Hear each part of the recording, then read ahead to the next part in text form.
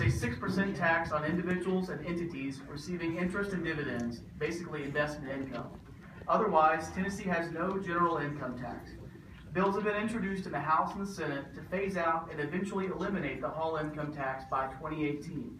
Do you favor the reduction and or elimination of the Hall income tax? Mr. Zachary, you'll have the first two minutes. Yeah, the interesting thing about the Hall income tax, that six percent tax on dividends, is how it really affects seniors.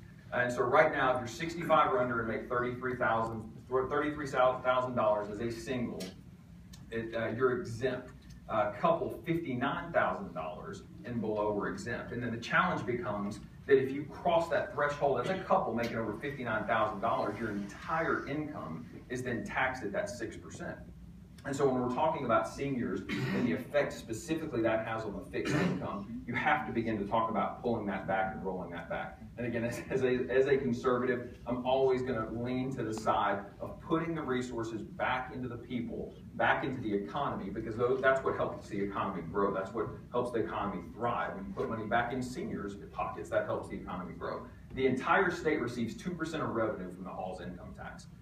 But you look at the effect it has specifically on seniors, it has to be addressed. And so to answer your question, I would be in favor and how we roll that back to where it limits the effect on some of the local governments that that Hall's income tax does benefit. So you have to begin to look, look at look at rolling that back slowly or doing it incrementally.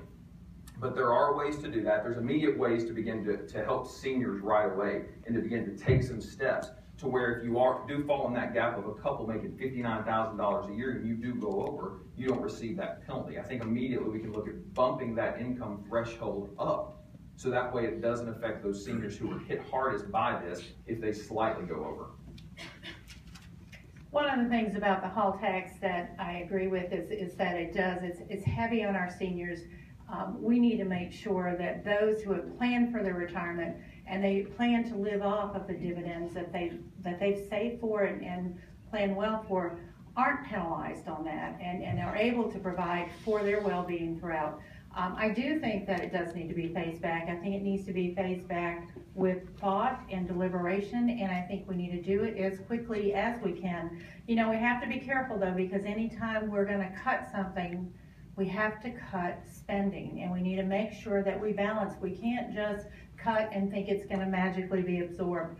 Of that 6%, half of that comes back to the local communities.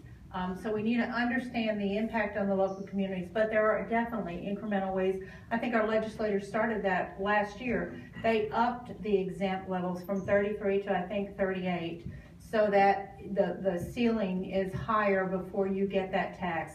I think those are, those are very conservative, appropriate approaches to slowly phasing out this tax and the goal to have it out by 2018, I fully support and will participate in enacting. Uh, just, just a quick follow-up. AFP has a really good proposal out where based on income thresholds, based on what, what uh, municipalities and local governments receive, that if, if income thresholds go over a certain point, then that Hall's tax is reduced. And if they don't meet that point, then the, then the income that's provided is given to those municipalities and local communities. And so it's just important as we look at this, the effect on seniors is top priority one, but then the effect on local governments, giving them time to adjust, giving them time to be able to make the changes necessary to absorb that. Uh, we may revisit taxation later on if we have time, but let's move on to a